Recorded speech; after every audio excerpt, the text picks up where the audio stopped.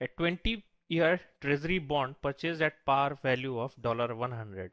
10% coupon rate paid semi-annually. How much reinvestment income should be generated to earn a YTM of 10 years?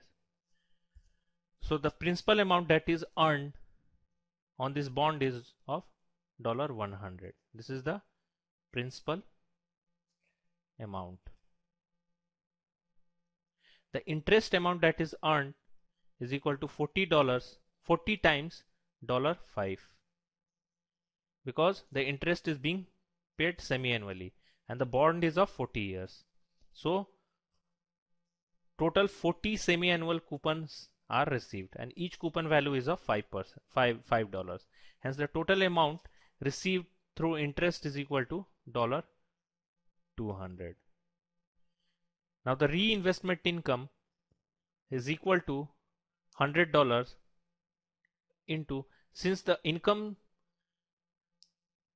the reinvested income should be should be reinvested such that it generates a YTM of 10%.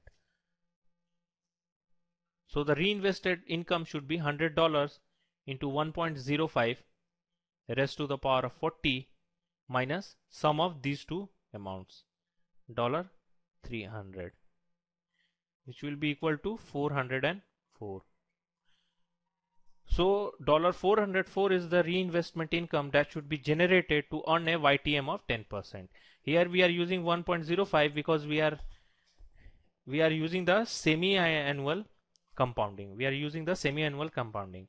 And hence the number of time period is equal to 40 which is equal to 40 half years and this minus 300 this 300 comes from the sum of the principal amount that is uh, obtained as well as the interest payments during the life of the bond. Hence my the reinvestment income should be dollar 404 so the correct option is option A